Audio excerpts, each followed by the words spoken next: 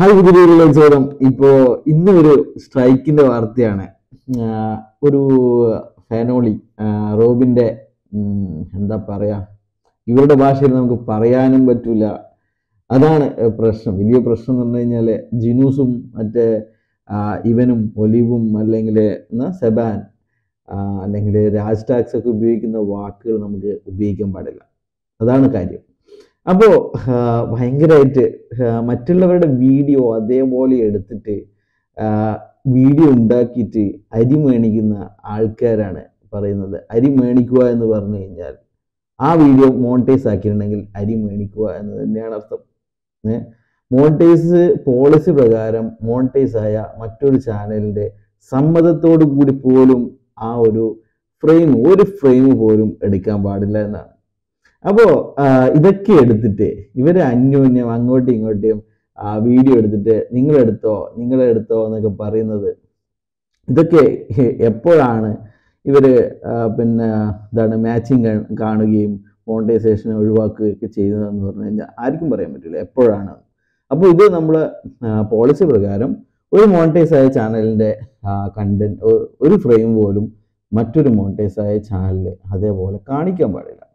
അപ്പോൾ ഒലീവ് ചേട്ടന്റെ വളരെ എനിക്ക് തോന്നുന്നു കുറച്ച് പ്രായവും പക്വതയും മറ്റേ എന്താണ് പറയുക തീട്ടപ്പിളർ പോലെ ഒന്നല്ല ഒരുപാട് പ്രായവും പക്വതയൊക്കെ ഉണ്ട്. അപ്പോൾ ഭയങ്കരമായിട്ട് അമ്പം എന്താണ് ഭയങ്കരമായിട്ടുള്ള ഡയലോഗുകളൊക്കെയാണ്. ആശയപരമായിട്ട് ആരെയും വ്യക്തിഹത്യ നടത്തുന്നില്ല. പക്ഷേങ്കിൽ ഏട്ടന്റെ തമ്പിനിൽ ഞാൻ ഇതുവരെ ഏട്ടന്റെ വീഡിയോ ഒന്നും കേട്ടില്ല. ഏട്ടനെ കുറിച്ച് കുറേ കേട്ടിട്ടുണ്ട്.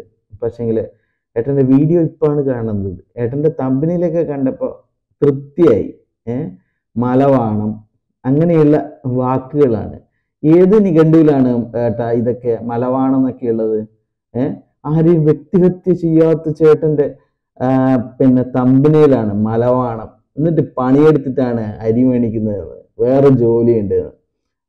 ഇവിടെ ചുരുക്കം ആൾക്കാർ മാത്രമേ ഇതിൽ റോബിന്റെ ഫാനോളികളിൽ ചുരുക്കം ആൾക്കാർ മാത്രമേ ഇതുകൊണ്ട് ജീവിക്കുന്നുള്ളൂ. ബാക്കി എല്ലാവരും പണിയെടുത്തിട്ട് തന്നെയാണ് ജീവിക്കുന്നത്.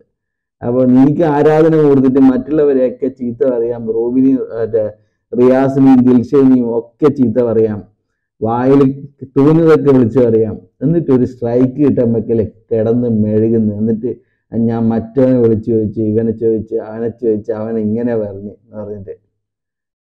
അവരുടെ ഒരു യൂട്യൂബ് ചാനലിൽ നടത്തുന്നവരുടെ പിന്നെ അവകാശമാണ്. നമ്മുടെ കണ്ടന്റ് മറ്റുള്ളവർ അനുവാദമില്ലാതെ എടുത്തു കഴിഞ്ഞാൽ സ്ട്രൈക്ക് കൊടുക്കുക എന്നല്ല പൂട്ടിക്കും പൂട്ടിക്കും.